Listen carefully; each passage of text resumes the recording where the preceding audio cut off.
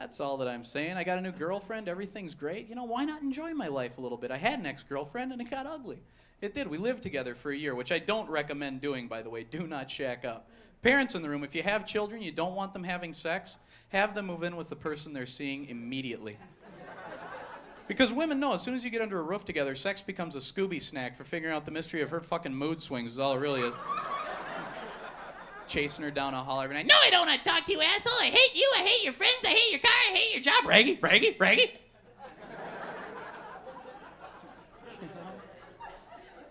we fight. Men and women fight. There's no real way of getting around that, is there?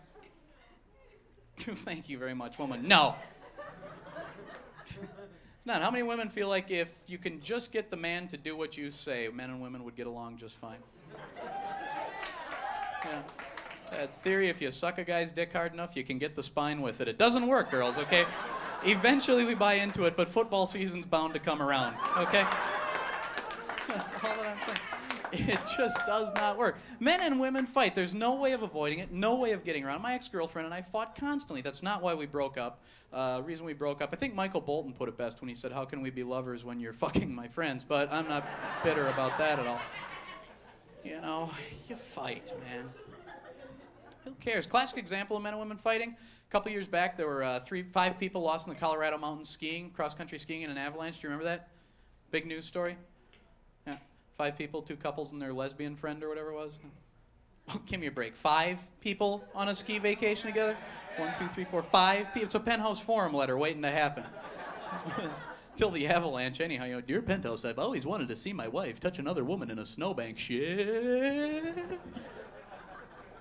They fought. You know they fought. Men were lost. Women were around. Equals they fought.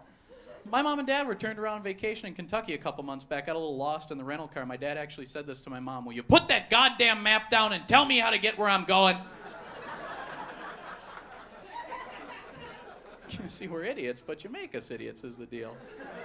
I would have loved to have seen these guys get off the mountain after they'd been lost with their wives. They'd have been so pissed off, man. It would have been great to see them get interviewed. Coming off the thing with blankets wrapped all over him. Sir, sir, sir, you were lost in the woods for three days. You were cold, hungry, tired. You're safe now. Gosh, what are you going to do? Get a divorce. Christ, talk, talk, talk, talk, talk, talk, talk, talk, talk. I'm cold, I'm hungry, I'm tired, my feet hurt, my legs are sore, my lips are chapped. I told you you should have brought a map. Her fucking voice caused an avalanche.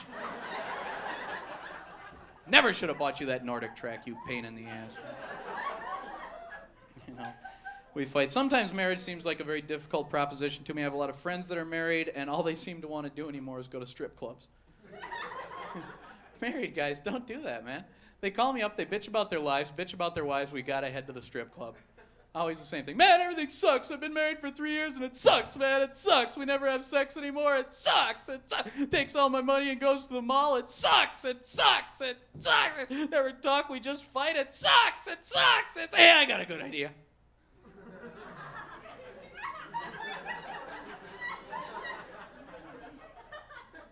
Let's get drunk and go to a titty bar. Yeah, that's a great plan. So you've already got one woman in your life who won't sleep with you and takes all your cash.